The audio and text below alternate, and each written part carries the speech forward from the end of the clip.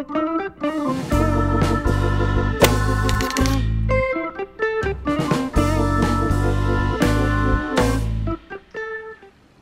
everyone and welcome back. If this is your first time, I hope you'll stay. Espero que te quedes. So today we are touching on the topic of religion within the Spanish language. So I've chosen a list of popular expressions I would say that you will hear every day within the Spanish language. And perhaps you haven't really thought they were religious, but now you will see the connection. Okay, as you know, um, religion is a very important element when you're studying any sort of culture because it's normally very present. No difference to Spain. Religion is all around us in, in celebrations, in not only names of people, but names of places, names of things, and so, of course, this lesson had to be done. It's very easy. This can be used for year 7 all the way up to year 12. Okay, um, everyone will find something useful in this video. Okay, without further ado, let us begin. Okay, so the first one that you will find on the list is Todo Dios. Todo Dios word for word, all God. All God. And this refers to everyone. So I might say, va a estar ahí todo Dios. So everyone is going to be there. Maybe you're having a party and I ask, who's going to be there? Pues todo Dios. Everyone. So you can't miss it. Everyone will be there. Todo Dios. So todo Dios means everyone. Okay? Quiero todo Dios ahí. I want everyone there. Todo Dios. I love this expression. In the Mancha region, you hear it quite a lot. Okay, next one. Even if you don't study Spanish, I am positive you know this one. Okay?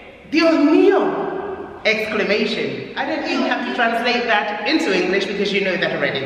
Okay? My God! Dios mío! My God. Okay, how would you use that? Do you use it? Dios mío, has, has oído? My God, have you heard? Dios mío, surprise or um, shock or whatever it is, an exclamation. My God. Oh my goodness. I prefer to say goodness than God, but the translation is God because Dios is God. Okay? Right. Next one. Decir el pecado, pero no el pecador, word for word, to say the sin, but not the sinner. And I love this saying because it makes sense.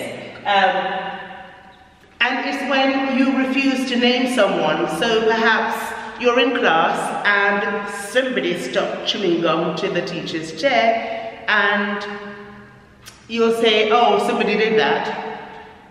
Yeah, somebody stuck gum to that chair, you saw who did it, but you don't want to name anyone. Okay, so you might say that something's been done, but you won't name the person, even though you know who did it. Okay, so to not grass somebody up. So that is it. To refuse to give someone's name when they've done something. Okay, love it. Okay, decir el pecado, pero no el pecado. Okay.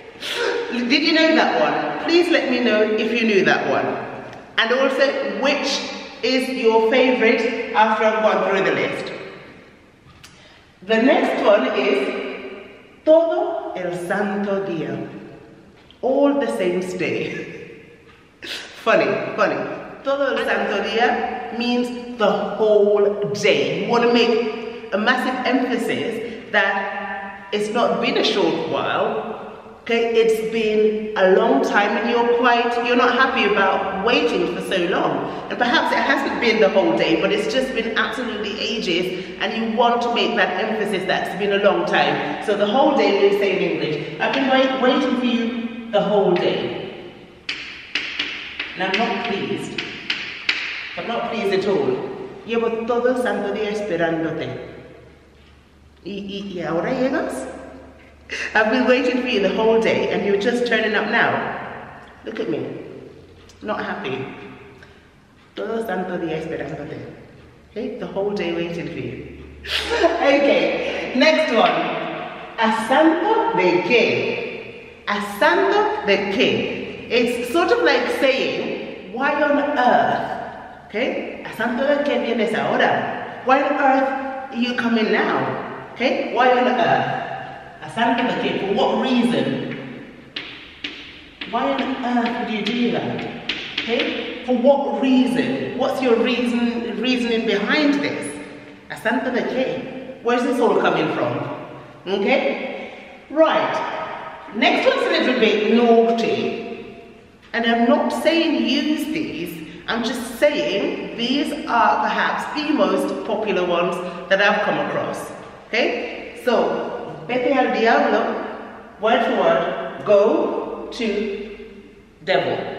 Go to devil. We have an expression in English for that. Do you know what it is? right. Um, the milder version, I would say, is leave me alone or go away. the milder version. Okay, so leave me alone. leave me alone. To not be as mm, quite as naughty because I want to remain politically correct. Okay, it's a little bit harsher vete al diablo. In English, we would use the expression that ends in hell, heaven, hell. Cielo, infier in infierno. Okay? Do you know what it is? Let's just say leave me alone. Or go to, not heaven, but go to, yeah. Right, so go to, go to the place we don't want to go to when we die because we want to go to heaven. Go to there, okay? Right. The next one, and I think I've given this to you before because I love this expression, and so I've used it prior to this lesson. Um, vivir en el quinto infierno. So word for word, to live in the fifth, the fifth, remember the order, um, ordinales? primero, segundo, tercero, cuarto, quinto. So the fifth hell. So to live in the fifth hell, I've just put hell so I could have put it over there as well. But what it means is to live out in the sticks, to live really far away. So um, imagine all my friends live in the center and I live 10 miles out on the outskirts of the city. And they might say to me, es que no vamos a venir a tu casa porque tú vives en el quinto infierno. Okay, so you live really far away, out in the sticks is too far. Okay? To live far away. Okay? Right, the next one I love, como una catedral. Like a cathedral which means something is very obvious, it's blatant, it's clear to see, monumental. Remember, cathedral is monumental, it's big, it's massive, isn't it? Um, it's huge. So um, I might say, which is a typical one, you'll hear, hear this being used in this um, manner. Es una mentira como una catedral. Okay? It's a lie like a cathedral. It means it's a blatant lie. It's a massive lie. Okay? Love that. Let me know if, you, if you've ever heard that one and you can use it. Okay? Como una catedral. Huge or monumental. Okay? So you, you'll hear that a lot. Okay, right, next one. Ser Judas. Okay, so that, do you remember? Um, if you ever went to Sunday school, if you read the Bible, if you're a Christian, you would have seen or heard Judas, the person who betrayed Jesus. So when you, somebody says to be a Judas, it means that you've betrayed your friends. Okay, you, yeah, you stabbed somebody in, in, in the back, not quite literally, but in a figurative manner. So to be a Judas is to be, yeah, the same, to be a Judas, to betray your friends.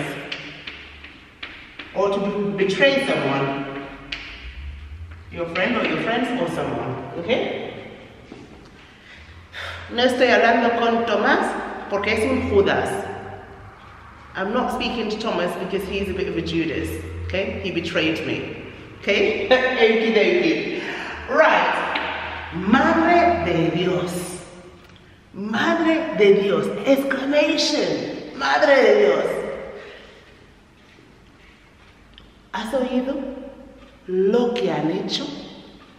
Mother of God, have you heard what they've done? Okay? Madre de Dios. And so it's just showing surprise, whether it's positive or negative. Mother of God, um, quite literally. I would say, oh, Lord, instead of Mother of God, I would say, Lord, oh goodness, okay? When you really want to show that surprise or shock, Madre Dios, okay? Mother of God, good God, good, goodness gracious. I don't say goodness gracious. A lot of these expressions with these exclamations with Dios or Madre de Dios, they translate to the same thing. But since I was brought up to not use the name of God in vain. I normally change them for goodness. Okay, so instead of saying God, I would say goodness, goodness me. Or instead of saying my God, I would say my goodness. Yeah? I don't know if you do that, but okay, it's just, that it's just another way of saying it. And the last one, tener en un altar. Okay? Tener, tener a alguien en un altar. Okay? Tener en un altar means to put someone on a pedestal. Okay? You really adore them. You really think a lot of them. Okay? Um, yeah. To put someone on a pedestal. Okay? You really adore that person. I feel as though um, I've gone on too long with this video and there's a lot of echo in this class so I hope that did not hinder your comprehension and I also hope that you're taking something valuable from this lesson. And so with that guys, I am going to leave you until next time. Okay? Adios. Take care. No. Que Dios esté con Vaya con Dios. What does that mean? Leave that down below for me. And also, share with me, do you have any other expression um, that's related to religion? Let me know. Bye.